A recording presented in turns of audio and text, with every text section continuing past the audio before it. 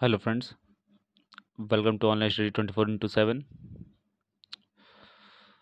आज की जो हमारे जो क्वेश्चन है, वो पार्लियामेंट्री सिस्टम से संबंधित है।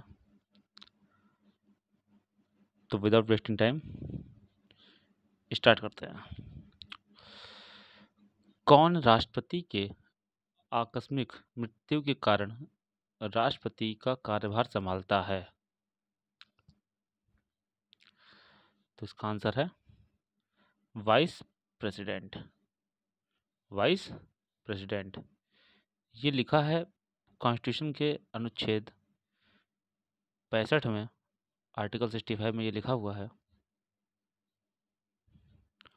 और मोहम्मद हिदायतुल्ला मोहम्मद हिदायतुल्ला वाइस प्रेसिडेंट थे हिदायतुल्ला।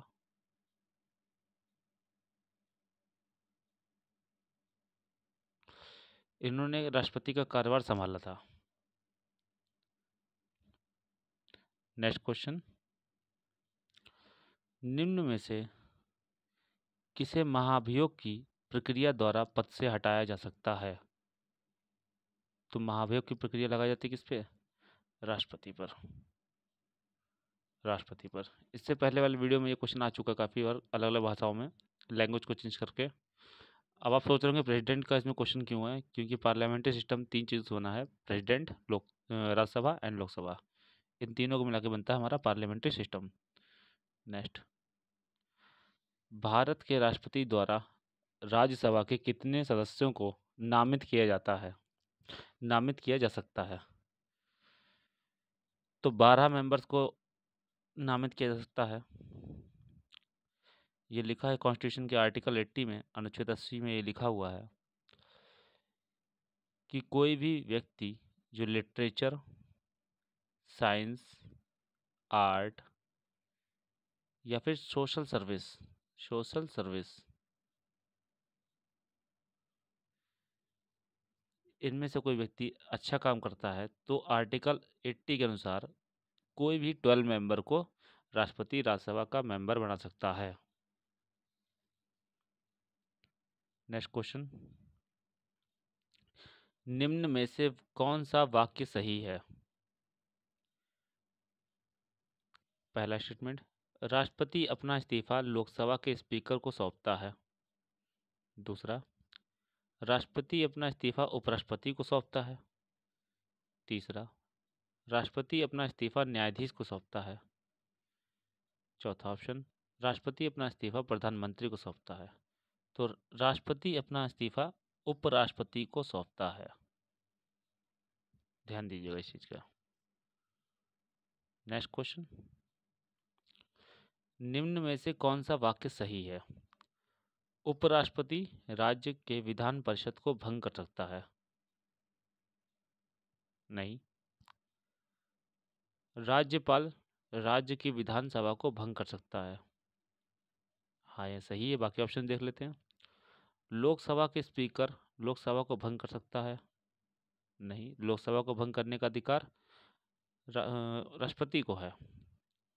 राष्ट्रपति राज्यसभा को भंग कर सकता है। राज्यसभा एक परमानेंट हाउस है, ये कभी भंग नहीं होती। इसको कोई भंग नहीं कर सकता।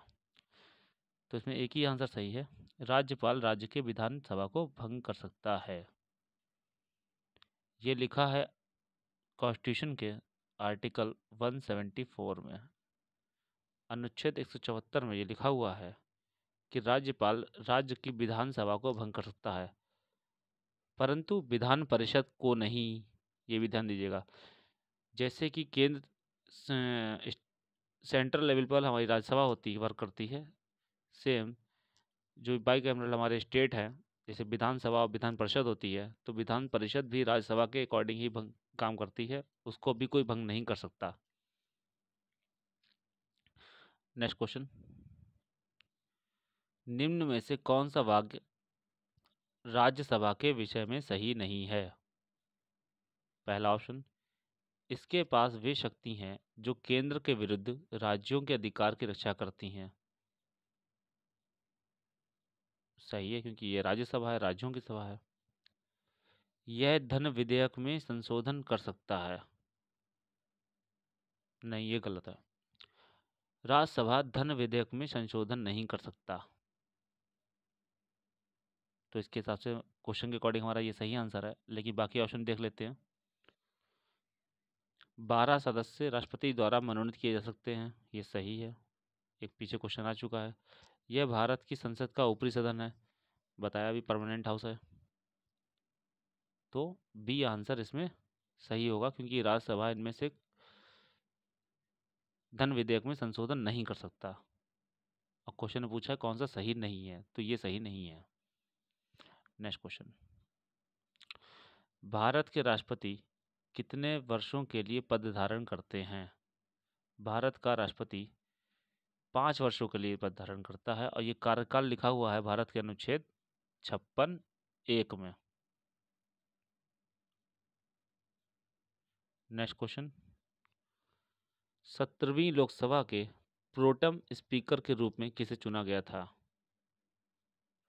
प्रोटम स्पीकर होता है एक टेम्पररी स्पीकर, जब तक कि इसमें स्पीकर और चुनकर अपना कार्यभार ना संभाल लें। उस टाइम के लिए प्रोटेम मतलब एक टेम्परेरी छोटे टाइम पीरियड के लिए एक प्रोटेम स्पीकर को चुना जाता है। वो थे वीरेंद्र कुमार। वीरेंद्र कुमार। Next question. लोकसभा के पाँच सौ बावन सदस्यों में से कितने सदस्य राज्यों का प्रतिनिधित्व करते हैं? तो राज्यों का प्रतिनिधित्व करते हैं 530 बीस जो आते हैं वो आते हैं यूनियन टेरिटरी से और दो होते हैं एंग्लो इंडियन लेकिन ये एंग्लो इंडियन वाला जो सिद्धांत है, वो संविधान के 104वें संशोधन अधिनियम संशोधन अधिनियम मतलब अधिनियम का मतलब होता है एक्ट 2019 के द्वारा ये रद्द कर दिया गया। अगर आपसे क्वेश्चन पूछे, कौन सा बिल था ये? तो बिल था ये 126 ये है बिल। जैसे आपने सुना होगा, जिसे आपने सुना होगा कि पहले बिल आता है, फिर जब पास होता है तब एक्ट बन जाता है। तो एक्ट कौन सा था? 104 बिल पूछेगा तो बिल कौन सा था? 126 और 2019 का ही है तो ये करंट अफेयर से संबंधित क्वेश्चन पॉलिटी का बन सकता है। Next question. भारत के उपराष्ट्रपति के रूप में नियुक्त होने के लिए न्यूनतम आयु मापदंड क्या है? तो उपराष्ट्रपति के लिए न्यूनतम पैंतीस साल की आयु होनी चाहिए, ये लिखा है अनुच्छेद छाछठ के अनुसार। कॉन्स्टिट्यूशन के आर्टिकल 66 में ये मापदंड लिखे हुए हैं। Next question. पूर्व राष्ट्रपति प्रणब मुखर्जी ने पहला लोकसभा चुनाव किस वर्ष जीता था? ये जीता था 2004 में। जब एनडीए से यूपी गवर्नमेंट बनी थी 2004 से पहले हमारी एनडीए गवर्नमेंट थी बीजेपी की, इसको लीड कर रहे थे अटल अटल बिहारी वाजपेयी जी। तो उसके बाद जब 2004 में बनी थी, तब ये जीते थे अपना पहला चुनाव। नेक्स्ट क्वेश्चन भारत के राज्य के राज्यपाल की नियुक्ति कौन करता है? तो राज्य के राज्यपालों की नियुक्ति करते हैं भारत के प्रेसिडेंट। ये लिखा हुआ है आर्टिकल 155 में। आर्टिकल 155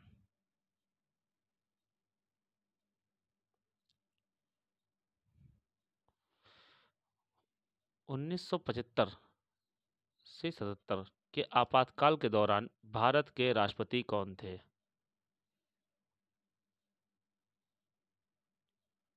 भारत के राष्ट्रपति, जो नेशनल इमरजेंसी लगी थी 1975 से 77 के मध्य, इसके राष्ट्रपति कौन थे उस समय?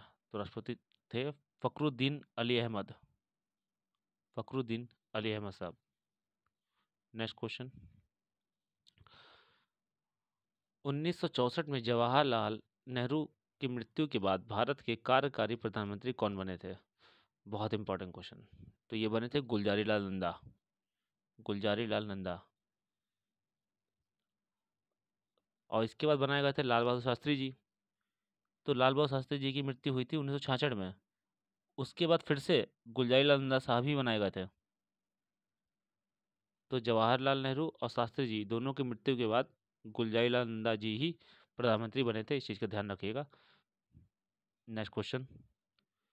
निम्न में से कौन सबसे लंबे समय तक पद पर रहने वाले भारतीय राष्ट्रपति हैं? तो राष्ट्रपति हैं डॉक्टर राजेंद्र प्रसाद। राजेंद्र प्रसाद। अगर आपसे पूछे सबसे ज़्यादा लंबे समय पर रहने वाले उपराष्ट्रपति कौन है? तो आंसर होगा राधा कृष्णन राधा कृष्णन ये वाइस प्रेसिडेंट है। सबसे लंबे कार्यकाल इनका है। नेक्स्ट। भारत के सुरक्षा बलों के सर्वोच्च सेनापति कौन होते हैं? तो ये होते हैं प्रेसिडेंट। President of India. ये लिखा हुआ है आर्टिकल 53 ऑफ़ इंडियन कॉन्स्टिट्यूशन। ये संविधान के अनुच्छेद तिरपन के अनुसार है। अनुच्छेद तिरपन में लिखा है कि भारत के सुरक्षा बलों के सर्वोच्च सेनापति राष्ट्रपति होंगे। नेक्स्ट क्वेश्चन निम्न में से किस देश में राष्ट्रपति प्रणाली की सरकार नहीं पाई जाती है? तो बहुत से लोग कंफ्यूज हो गए होंगे इस क्वेश्चन में, मुझे याद है। तो सरकार नहीं पाई जाती भारत में। भारत में पार्लियामेंट्री सिस्टम है। प्रेसिडेंशियल सिस्टम नहीं है। पार्लियामेंट्री सिस्टम है। मैंने स्टार्टिंग में बोला पार्लियामेंट। क्योंकि इंडिया में आर्टिकल 74 और 75 के अनुसार राज्यसभा, लोकसभा है। और 74 75 जो डील करती है, वो पार्लियामेंट्री सिस्टम के साथ डील करती है। Next question. भारत के राष्ट्रपति के पास वे ही शक्तियाँ और कार्य हैं, जो किसके पास है? जो पावर राष्ट्रपति के पास है, वही पावर ब्रिटेन के प्रेसिडेंट के पास होते हैं। ब्रिटेन के प्रेसिडेंट के पास होते हैं। नेक्स्ट क्वेश्चन भारत में राज्य का प्रमुख और सबसे उच्च औपचारिक अधिकारी कौन होता है? तो ये होते हैं राष्ट्रपति। भारत में जितने भी काम किए जाते हैं, कोई भी देश में हम लोग कोई भी एग्रीमेंट करते हैं एमओयू साइन करते हैं तो वो सब प्रेसिडेंट के नाम से करते हैं। एमओयू का मतलब memorandum of understanding. Next, Bharat में नियंत्रक और महालेखा परीक्षक की नियुक्ति कौन करता है? की नियुक्ति कौन करता है? ये करते हैं भारत के प्रेसिडेंट। ये लिखा है आर्टिकल 148 में। 148 में।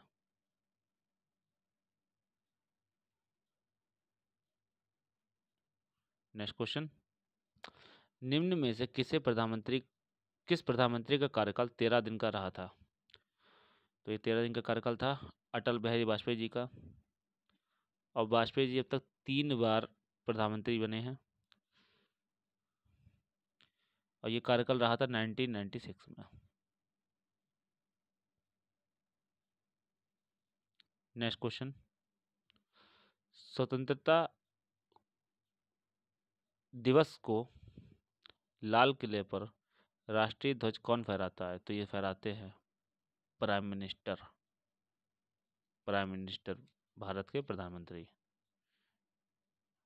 नेक्स्ट क्वेश्चन भारत में किस वर्ष दो सदनों वाली प्रथम निर्वाचित संसद अस्तित्व में आई थी। मतलब राज्यसभा और लोकसभा दोनों एक साथ कब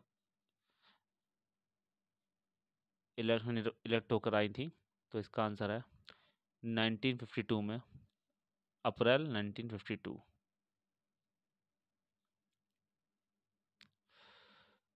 आज के लिए बस इतने ही क्वेश्चन कम क्वेश्चन इसलिए लाता हूँ कि आप लोग डेली डेली याद कर पाए।